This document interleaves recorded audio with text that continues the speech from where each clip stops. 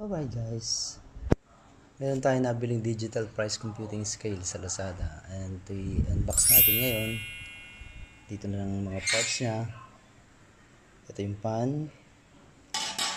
And you will also notice na mayroon ditong apat na panlagay sa dito. Okay. So first lagay muna natin siya okay. Yan Okay, medyo mahirap. Yun. Okay. May butas siya doon. Kailangan may pasok mo lang siya. Then, ikot. Okay. Ayan o. May panlock doon sa loob. Okay. And, you'll notice that meron siyang, yung pan meron din sa ilalim na apat. So, lagay mo lang siya doon. Okay, yan.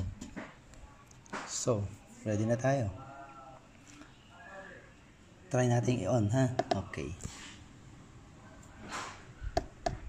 On. So, yan. Iilaw lahat ng L- LCD niya. Then, it should be zero. Kailangan may zero dyan. Kung hindi siya zero, guys, pindutin mo lang itong zero. Okay? So, let's try. Bawa, um, kilo tayo ng asukal. Tingnan natin kung gano'ng kalak kabigat to. So, hindi pa siya umabot. Almost 1 kilo, 0.98. Kung gusto mong, if ever na you like na lagyan siya ng unit price, for example, ang unit price niya is 50, try mo lang, lagyan mo lang siya ng 50. 5, 0. And then you will see the total price is 49. Since wala pang isang kilo, 49 lang siya. Kasi per kilo tayo, ang weight natin is per kilogram. Okay? Yan. Okay? Ah, one more thing pa nga pala mga kaibigan.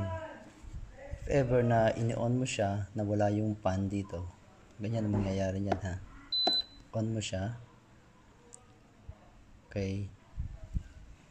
So, wait until mag- magkaroon ng zero dun sa weight. Okay, kapag zero na siya, okay na yan. Halimbawa, ganyan. Wala pa yung pan, and then saka mo ilalagay itong pan. Ayan, saka mo pa lang siya ilalagay. So, lalabas, kinulo, kinilo mo yung weight ng pan.